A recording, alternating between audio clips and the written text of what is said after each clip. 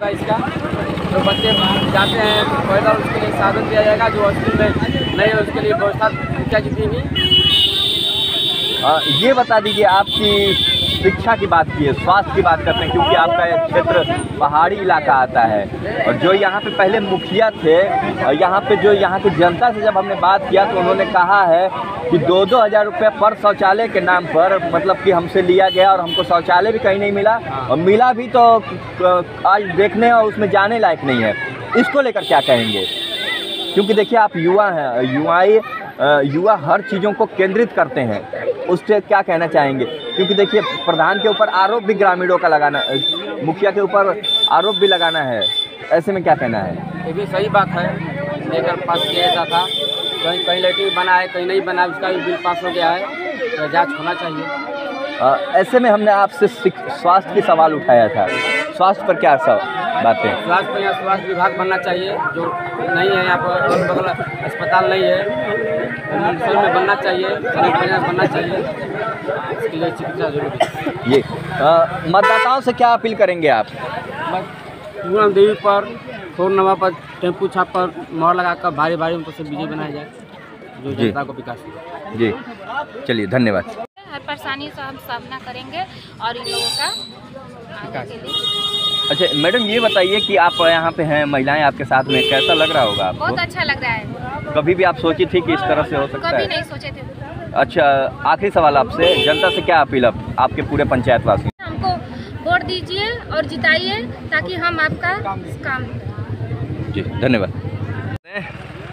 मैं मुखिया प्रत्याशी शशि भूषण दुबे ग्राम पंचायत पसाई गाँव एकौनी मुखिया जी चुनाव की तैयारियाँ किस तरह से मुद्दा क्या है चुनाव लड़ने का? चुनाव मुद्दा लड़ने का तो देखिए हमारा पहला संकल्प है समाज सेवा। हम सबसे पहले समाज सेवी हैं और समाज का सेवा करना हमारा लक्ष्य है। इसलिए इस पद से चुनाव लड़ा हूँ। मुखिया जी जिस तरह से चुनाव की तैयारी में हैं आप जी, आपके साथ युवा हैं। युवाओं के लिए शिक्षा के क्षेत्र में स्वास्थ्य के क्षेत्र में क्या सोच रखे हैं? शिक्षा के बारे में सोच रहे हैं कि हमारे बच्चों को अच्छा से अच्छा शिक्षा मिले। स्वास्थ्य में जो भी उपकरण में आवे उसको करने के लिए तैयार हैं। उसके लिए प्रखंड पर जाना होगा भभुआ जाना होगा जिला में जाना होगा। जाएँगे और उसको संपूर्ण करेंगे। हम्म, करने का प्रयत्न भी करेंगे प्रयास भी करेंगे। हम्म। मुखिया जी जिस तरह से देखा जाए तो शिक्षा की बात करते हैं। युवाओं के लिए क्या कहना है? क्योंकि देखिए युवाएँ रीढ़ की हड्डियाँ होते हैं। भविष्य है हमारे बच्चे। हम्म, हमारे बच्चे भविष्य हैं तो उनको पढ़ाई लिखाई शिक्षा के मामले में जहाँ तक हो सकेगा यथासंभव हम लोग प्रयास करेंगे। समाज के भी माध्यम से करना होगा तो। हम्म। मुखिया जी जिस तरह से देखा जाए महिलाओं के लिए क्या सोच रखे हैं? वैसे भी कोविड 19 में जो प्रवासी मजदूर वापस लौट के अपने गंतव्य को आ रहे थे उस समय आपने क्या किया? हमने बहुत कुछ किया कुछ मजदूरों को मंगवाने का भी हम लोगों ने काम किया। हम्म, जैसे गुजरात सूरत में जाकर के लोग फंसे थे पूना महाराष्ट्र में फंसे थे। हम्म। हमारे सहयोगी हमारे गाँव के अगल बगल के हम्म, उन लोगों को मंगवाने का प्रयास किया। उस कोरोना जैसा महामारी में हमने हर गाँव में जाकर के जायजा लिया। हर बंधु हर गरीब अमीर के बीच गया। और वहाँ जो यथासंभव हमारा जो चला हमने वो कर प्रयास किया। मुखिया जी जिस तरह से चुनाव की तैयारी में हैं आज आप पिछले पाँच सालों में जनता के बीच आप इस बार जा रहे हैं। क्या लगता है रुझान क्या है? मैंने 2016 में भी चुनाव मुखिया के पद से लड़ा था। हम्म, समाज का स्नेह प्रेम निष्ठा हर कुछ हमको मिला। हम्म, लेकिन कोई चूक बस हमने मुखिया नहीं बना। हम्म, पाँच साल के बीच मैंने समाज के बीच में ही अपना समय बिताया है। हम्म, और जनहित में हमेशा सोचता रहा है। आज भी सोच रहे हो कल भी सोचेंगे। हम्म। मुखिया जी पिछले मुखिया जो थे जी। उन्होंने क्या किया? किस तरह से किया ये मैं पैसा तो बहुत सा किए लेकिन कुछ उनका काम अधूरा भी रह गया। समाज में जैसे लेटरिन का काम हुआ हम्म, वो पूरा नहीं कर पाए। किसी का छज्जा चढ़ा तो किसी का ढक्कन नहीं लगा। किसी का ढक्कन लगा तो केवाड़ भी नहीं लगा। हम्म, आज के दिनांक में वो जीतते हुए भी आज पंचायत को छोड़ करके चले गए। हम्म। मैं अगले बार का सेकंड प्रत्याशी हूँ और आज रहा सात निश्चय योजना जी। कहीं ना कहीं धरातल पे हमारे जल नल जी, जी। सीएम नीतीश कुमार का ये ड्रीम प्रोजेक्ट था। जी। उसमें क्या हुआ आपके क्षेत्र आपके पंचायत में? क्षेत्र में बहुत जगह देखिए सफलता भी है। उसमें बहुत जगह असफल भी है। कि नि- पेट जल वाला जो तत्व है ये पूरा सफल नहीं है बहुत जगह फंसा भी हुआ है।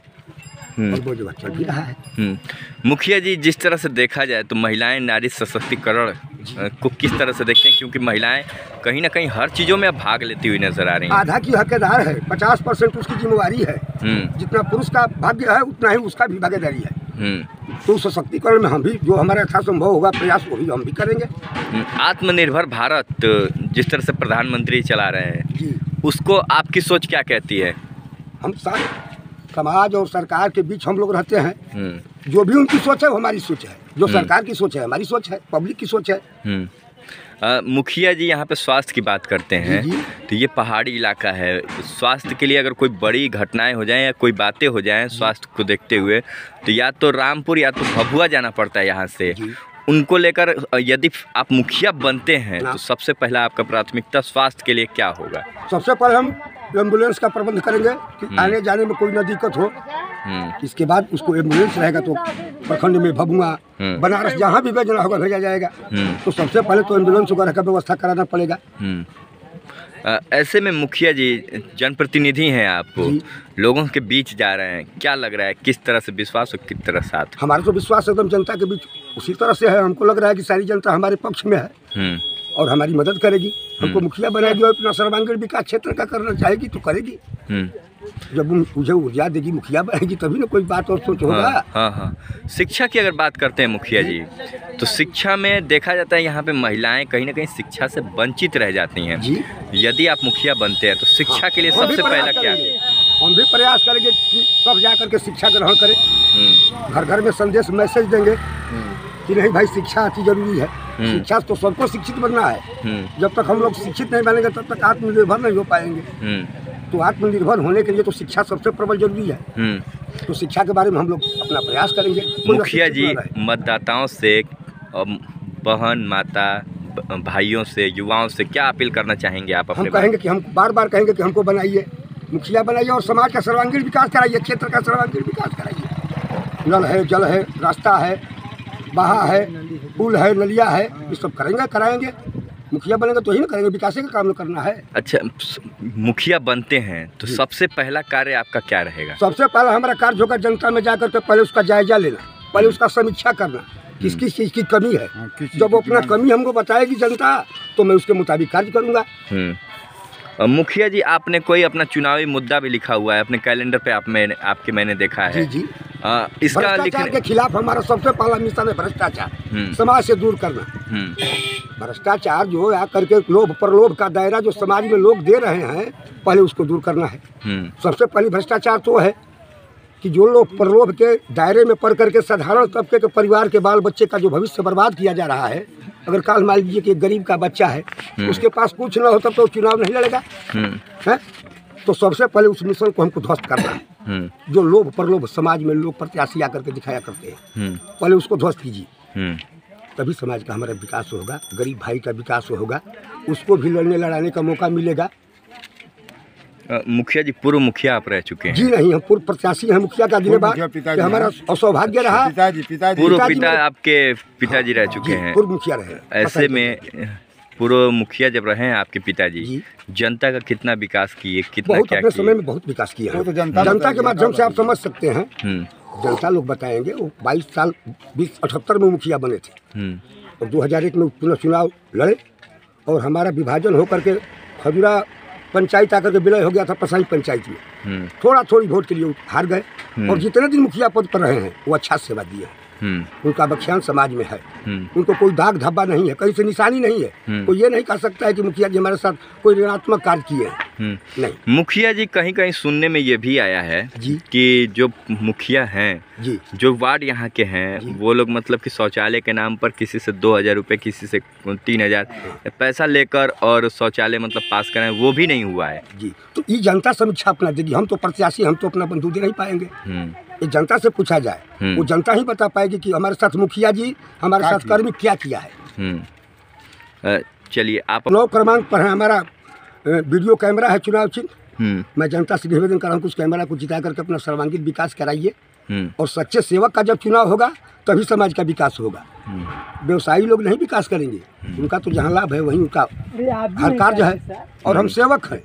हम्म, हम्म। हमारा सेवा करने का लक्ष्य है कि जनता के जनहित में हम सेवा करें और जस का भागी बने। जी हमारा लक्ष्य यही है। जी धन्यवाद। धन्यवाद।